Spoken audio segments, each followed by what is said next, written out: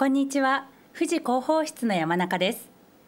10月の半ばを過ぎ街を歩いているとふと金木犀の香りが漂ってきて秋の深まりを感じます。皆さんいかがお過ごしでしょうか？秋が深まってくると日が暮れる時間が日に日に早くなってきます。その夕暮れ時は交通事故に注意が必要だということです。運転者も歩行者も互いに交通安全を心がけてみてはいかがでしょうか。それでは富士市からのお知らせです。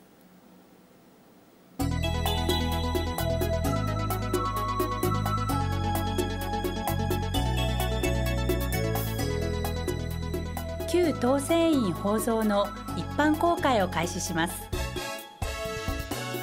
公開開始日は11月3日木曜日の文化の日で公開時間は9時から17時まで吉原公園内の旧当選院宝蔵を一般公開します。年中無休です。内容は宝蔵の内部の一般公開と宝蔵に伝わった資料についてのパネル展示です。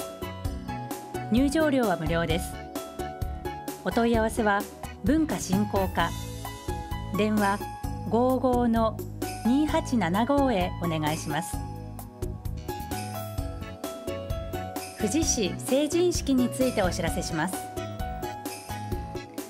日時は平成29年1月8日日曜日ロゼシアター大ホールで行います。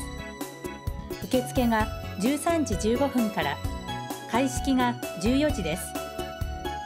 対象は市内在住の平成8年4月2日から平成9年4月1日までに生まれた人です。市外に転出していて成人式への参加を希望する人は平成29年1月4日水曜日までに市ウェブサイトへ電子申請するか土曜日日曜日祝休日年末年始を除き電話で社会教育課までお願いします。案内状の発送は12月上旬を予定しています。お問い合わせは社会教育課電話55の0560へお願いします。年末調整青色申告決算説明会についてお知らせします。はじめに年末調整等説明会についてお知らせします。日時は11月17日木曜日の13時30分から16時まで。ロゼシアター中ホールで行います。13時会場です。次に青色申告決算説明会についてお知らせします。日時は11月24日木曜日の14時から16時まで。県富士総合庁舎6階601会議室で行います。13時30分会場です。なお青色申告決算書用紙は確定申告書用紙などと合わせての送付になります。青色申告決算説明会当日までに送付されませんのでご了承ください。また平成28年分の提出書類からマイナンバーの記載が必要となるものがあります。マイナンバーの記載にご協力をお願いします。お問い合わせは富士税務署電話61の2460へお願いします。障害者特別障害者の認定についてお知らせします。所得税、市民税、県民税の障害者控除、特別障害者控除の対象者認定書を交付します。対象は身体障害者手帳などの交付を受けていない65歳以上の人で6ヶ月以上寝たきりや認知症など日常生活に支障がある人です。お申し込みは随時受け付けています。直接高齢者介護支援課までお願いします。なお認定基準日は申請日の前年の12月31日です。お問い合わせは高齢者介護支援課。電話55の2741へお願いします。不要になった水道メーターについてお知らせします。水道メーターは市から使用者へお貸ししているものです。また別の土地に移して使用することはできません。しかし最近土地を分譲したり駐車場にする際に埋めてしまったりするなどの事情で紛失するケースが増えています。紛失した水道メーターは弁償していただく場合がありますので使用しなくなった水道メーターは速やかに上下水道営業課までご返却ください。お問い合わせは上下水道営業課。電話55 2845へお願いします。須藤ふれあい遠足を開催します日時は11月27日日曜日の9時30分に須戸中学校グラウンド集合です小雨決行です内容は須戸中学校から大棚の滝までの往復約 12km の須戸川渓谷の散策です定員は700人参加費は無料です持ち物は昼食水筒雨具敷物などです。お申し込みは11月11日金曜日までに直接またはファクス E メールに住所振り仮名を振った氏名年齢電話番号須戸地区の人のみ町内会名を記入し須戸まちづくりセンターファクス番号34の0024ご覧の E メールアドレスまでお願いします。お問い合わせは須戸まちづくりセンター。電話34の0004へお願いします。富士市富士山ぶどう園部会。ぶどうを体験してみようを開催します。日時は11月19日土曜日の13時開演で私立富士体育館で行います。内容は合気道少林寺拳法空手道弓道剣道柔道なぎなたスポーツチャンバラの演舞披露と体験です。入場料は無料です。お申し込みは当日直接会場までお願いします。お問い合わせはスポーツ振興課。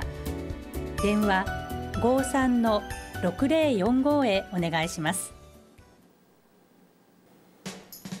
富士市森林墓園使用者を募集します。募集墓所数は芝生墓所が43区画と45区画の空き墓所8墓所普通墓所が48区画から52区画までの空き墓所40墓所です。募集墓所には空き墓所の縦看板を設置します。応募資格は平成27年11月7日以前から市内に在住し市の住民基本台帳に記載されている人です。使用料は一括払い込みで1区画50万円です。管理料は芝生墓所が税込みで年額6480円。普通墓所が税込みで年額5400円です。お申し込みは土曜日日曜日を除く11月7日から18日までの8時30分から17時15分までに環境総務課で配布していて市ウェブサイトへダウンロードできる墓所使用申込書。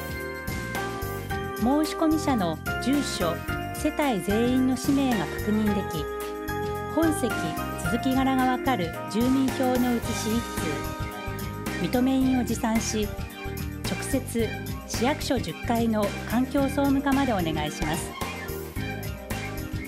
事前に環境総務課で配布していて市ウェブサイトへダウンロードできる募集案内書を確認してください。申し込む人は事前に現地を確認してください。墓所は選択できますが希望者が重複した場合は抽選になります。申し込みから使用可能まで約1ヶ月かかります。春のお彼岸には臨時送迎バスの運行を1日予定しています。お問い合わせは環境総務課。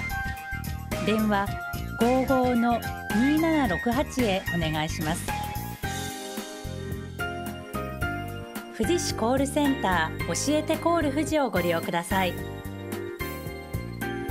印鑑証明や住民票を取るために市役所へ持っていくものは？今週末市が主催するイベント情報を教えてなどあなたのちょっとしたお問い合わせに専門のオペレーターがお答えします。受付時間は8時30分から18時まで。年末年始を除き土曜日日曜日祝休日も受け付けています。市役所のことでどこに電話をかけていいか担当がわからない。そんな時はぜひ富士市コールセンター教えてコール富士。電話53の1111をご利用ください。今回の富士広報室は富士市からのお知らせをお送りしました。さて今回のエンディングは10月10日に行われた飛翔富士の山1かぐやの舞の様子をお送りします。かぐやの舞には富士山へ旅立った富士市のかぐや姫伝説にちなみ富士山のように素晴らしい人生が送れますようにとの願いが込められています。当日は多くの人が見守る中かぐや姫をイメージする衣装を着た女性たちが列をなし舞いながらかぐや姫伝説が残る史跡をたどりましたその模様をご覧くださいそれでは富士広報室はこの辺で。